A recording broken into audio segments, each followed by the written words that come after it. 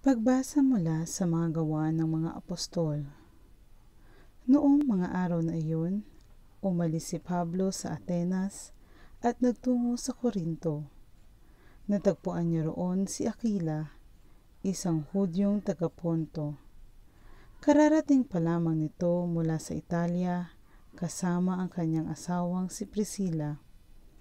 Umalis sila roon sapagkat pinalayas ni Claudio ang lahat ng Hudyo sa Roma. Nakipagkita sa kanila si Pablo at doon na nakitira sapagkat sila'y manggagawa ng tolda tulad niya. At siya'y tumulong sa kanila. Tuwing araw ng pamamahinga, nakikipagpaliwanagan siya sa sinagoga at sinikap niyang mahikayat sa pananampalataya ang lahat, maging Hudyo o Griego.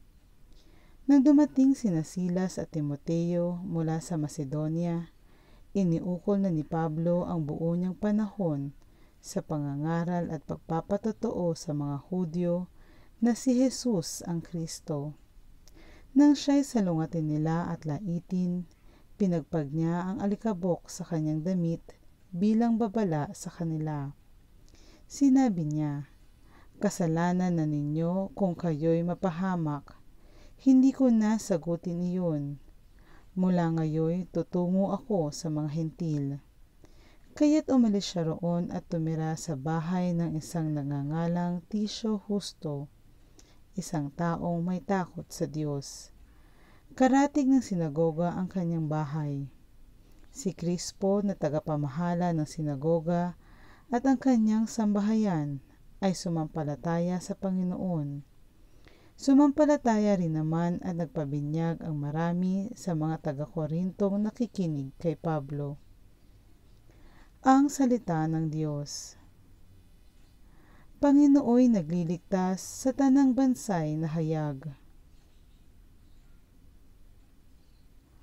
Umawit ng bagong awit at sa puon ay ialay, pagkat yaong ginawa niya ay kahangahangang tunay sa sariling lakas niya at taglay na kabanalan, walang hirap na natamo, yaong hangad na tagumpay.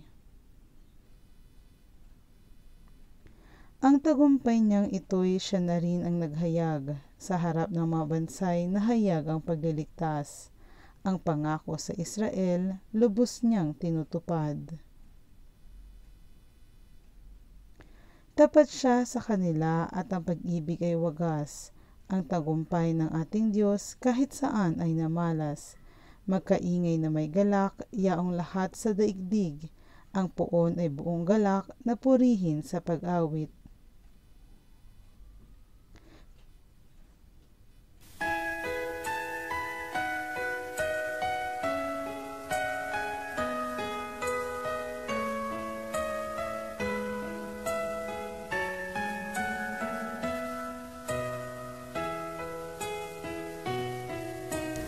Alleluia, Alleluia.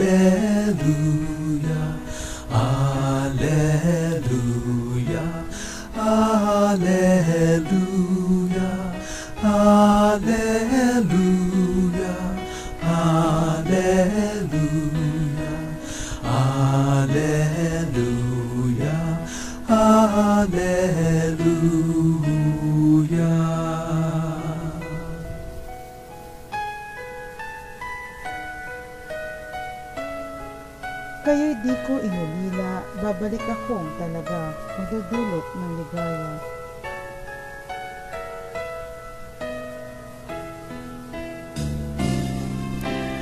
Hallelujah, Hallelujah.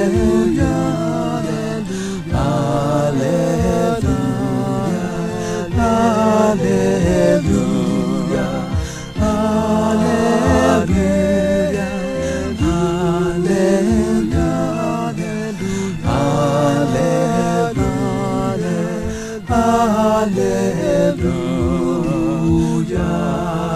Hallelujah. Hallelujah.